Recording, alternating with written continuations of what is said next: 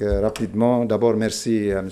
Alain et à Mme Chantal Mérieux d'avoir pris l'initiative de construire un centre de mère et enfants à Dourest, dans la près de Baalbek, un village où il y a 10 000 habitants, moitié chrétiens, moitié musulmans, avec Amel, soutenu par la principauté de Monaco supervisé l'exécution par mon ami Benoît et Josette, et M. Kouchner a eu l'occasion, chargé par la Fondation Mérieux d'évaluer l'action, visiter ce, ce, village. Et je crois prochainement, on va construire ce local qui sera, à mon avis, un projet pionnier au niveau des services et des soins, mais aussi de la prévention au Liban. Moi, à la suite de mon ami Jean, je vais vous parler un peu de Amel au niveau de la santé, mais aussi de son action au Liban et qui est devenue aussi internationale. Amel, qui est une ONG civile et non confessionnelle. Je souligne non confessionnelle parce qu'au Liban, le système politique est confessionnel. Et Amel, c'est une grande ONG qu'on a fondée en 1979 après la première invasion israélienne du sud Liban. Moi, je suis de Khiyam, à la frontière. Ma ville a été complètement détruite déjà deux fois, et notre maison quatre fois familiale. Euh, on a maintenant, pendant la guerre civile et l'occupation israélienne, et là, je peux prétendre, Bernard et moi, peut-être, si je suis prétentieux, on a fondé l'humanitaire engagé et militant parce qu'on a travaillé ensemble en 1975, c'est ça, depuis 43 ans, à Tal le camp palestinien, qui était assiégé, et j'ai été blessé moi là-bas. Euh, malheureusement, après la chute de l'ex-Union soviétique et l'adoption de l'économie de marché, l'humanitaire est devenue technique, professionnelle, charity business, et moi je parle de Bongo, Business Oriented Non-Governmental Organization. Il y a une armée de gens qui travaillent dans l'humanitaire, qui cherchent leur salaire, euh, les loyers de l'appartement, le prix du voyage, et leur discours dans les hôtels sur la démocratie, mais les pauvres s'appauvrissent et les riches s'enrichissent et les fossés s'élargissent entre eux. Et moi, notre slogan à Amel, il n'y a pas de démocratie sans développement. Il faut manger et après philosopher. Alors, et à Amel, il y a maintenant 24 centres, il y a 6 cliniques mobiles, on a une unité éducative pour les déplacés syriens, et aussi il y a 800 personnes qui travaillent à Amel. Euh, on travaille un peu à contre-courant. Vous savez, dans notre région, il y a un retour à l'appartenance identitaire et primaire. Amel, son slogan principal. Comment développer l'humanité de l'être humain sans tenir compte de son appartenance politique, religieuse, géographique. Aucun de nous n'a choisi sa famille, sa nationalité, sa religion. Ce sont des choses qu'on a héritées. Ce que nous pouvons faire ensemble, c'est le vrai défi. Et là, justement, cet exemple que nous faisons ensemble, c'est un partenariat d'égal à égal et non pas le néocolonialisme, toujours qu'il y a des gens qui viennent nous apprendre comment il faut travailler. Alors, à Amel, on, a commencé avec euh, les services médicaux parce que c'était la guerre civile, c'était l'occupation. Et euh, on a 280 médecins qui travaillent à Amel. Mais on a, à travers le service, on essaie de passer à la prévention. Les soins de santé primaire, qui a été proposé par l'OMS. Et justement, et moi, comme responsable des ONG au Liban et dans le monde arabe, j'ai proposé il y a 25 ans au ministère de la Santé d'adopter une chaîne des, des centres médicaux vous savez, je vous donne une idée comment est la, société civile au Liban. Comme ça, vous pouvez savoir. Il y a au Liban 860 centres médicaux et dispensaires. 760 appartiennent aux ONG et sont au secteur public. Ça vous donne une idée combien est la force de la société civile au Liban, ce qui a protégé le Liban pendant 40 ans de guerre civile et d'occupation.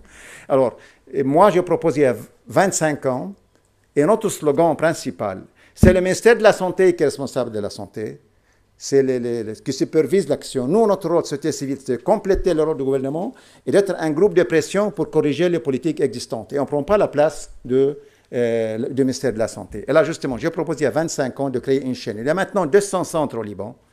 Et Khalil, quand il a visité avec M. Kouchner le centre de Khiyam, il a pris une vidéo. C'est un centre, franchement, je peux prétendre que nous faisons dans les 24 centres, on a peut-être 14 centres de santé communautaires on fait de la santé, non pas de la médecine, hein, des soins. On fait de la prévention.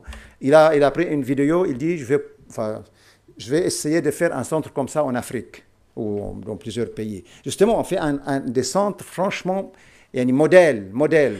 Les staff est très engagé, il est compétent, et toujours dans les régions rurales, les régions les plus, pauvres. Tous les centres de Hamel sont des régions rurales, les régions périphériques, les plus pauvres. Moi, j'ai vécu à Khiam, je suis d'une famille paysanne, euh, j'ai fait des études par hasard, parce que comme mon tour est arrivé, on est 11 nous, euh, mes frères sont allés dans les grandes écoles, mais mon père n'avait plus d'argent, alors euh, je suis, j'ai étudié dans les écoles publiques qui ont un niveau très bas, et j'ai étudié en France, à Grenoble et à Tours après je suis pédiatre et professeur.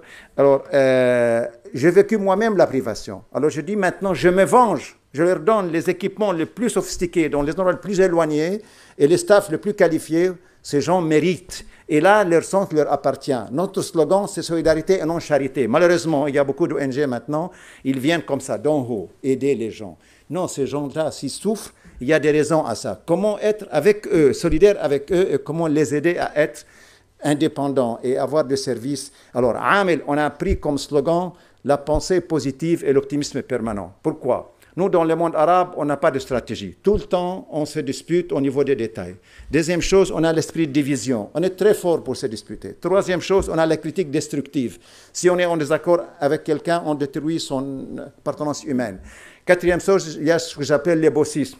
Il y a un président dans l'ONG, la famille, le parti politique, le secteur privé et parfois l'État est assimilé à une personne. Et dernière chose, et surtout pour l'élite, il y a la mentalité de tout ou rien, où on change le monde en une journée, sinon on commence à critiquer et on fait rien. Alors nous, on a pris trois slogans, la pensée positive et l'optimisme permanent. Comment dire nous, nous, nous? Le Libanais dit je suis le meilleur, ma famille est la meilleure, mon parti est le meilleur, ma confession est la meilleure, et l'autre ne vaut rien. Il faut apprendre à dire nous. Deuxième slogan, les trois P. Il faut ait un principe dans la vie, une position qui correspond au principe et une pratique sur le terrain. La classe politique au Liban, des bons discours à la télé, un peu partout, surtout au Liban, euh, rien sur le terrain. Et Nelson Mandela disait, si on a une vision, et si on peut transformer cette vision en action, on peut une action, on peut changer le monde. Et le troisième slogan, on est en état de guerre avec Israël, mais dans la société, il y a les amis, le neutre, les adversaires. Comment renforcer le rapport entre amis? Comment transformer le neutre en ami Et comment neutraliser les adversaires? Sur le terrain, avant tout des services. Il y a plein d'ONG maintenant, partout, qui nous parlent dans les hôtels de démocratie, rien sur le terrain. Les Nations Unies qui ont choisi le slogan développement durable après la chute de l'Union soviétique, à l'époque, il y avait 400 millions de pauvres et 10 milliardaires. Maintenant, avec tous les discours de droit, justice sociale, gender et tout ça, il y a 2 milliards de pauvres et 550 milliardaires. Il faut, comme je l'ai dit, il n'y a pas de démocratie sans développement. Il faut manger, après il faut les offrir. Alors nous, à travers les services, on passe au développement et après, à la, droit à la, à la parole, à l'expression, culture de droit, éducation, santé, santé. La femme, on peut parler de, parler de démocratie si la femme ne participe pas. Une chose qui va vous surprendre, moi je suis optimiste pour l'avenir de notre région à cause de la nouvelle génération et surtout les filles. Cette génération est armée des valeurs de justice sociale, de démocratie et de liberté. Ce qui s'est passé en Égypte et en Tunisie, c'était une révolution. Ce que nous vivons maintenant, c'est une anti-révolution.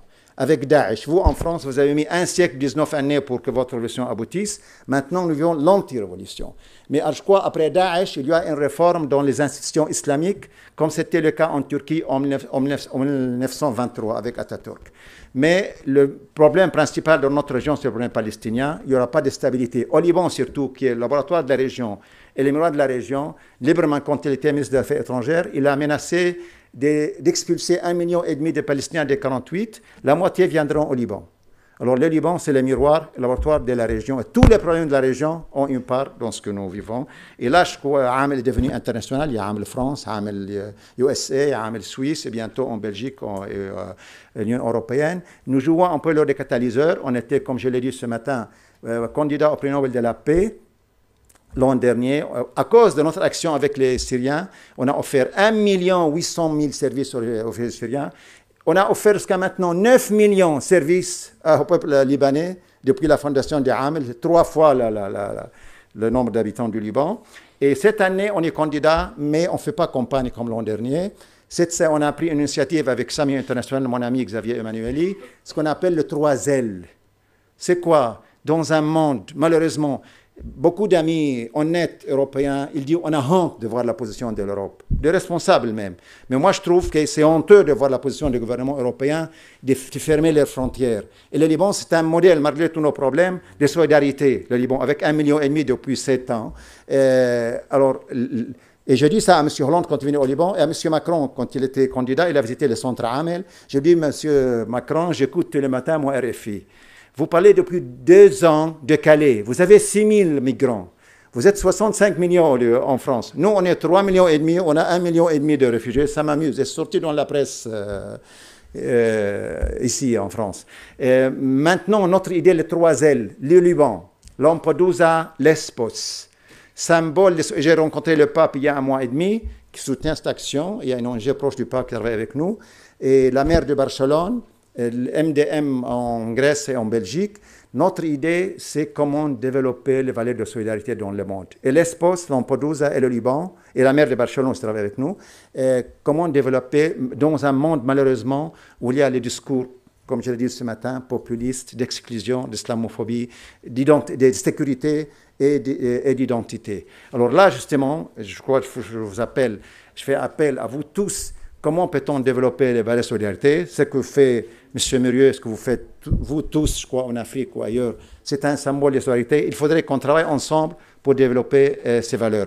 Je termine, moi, d'habitude, euh, quand je fais un discours, je raconte une blague. Alors, il s'est avéré que Adam et Ève sont des Libanais. Pourquoi? Euh, Parce qu'ils vivaient sans électricité, sans eau, ils volaient des pommes et ils croyaient qu'ils vivaient au paradis. Merci beaucoup.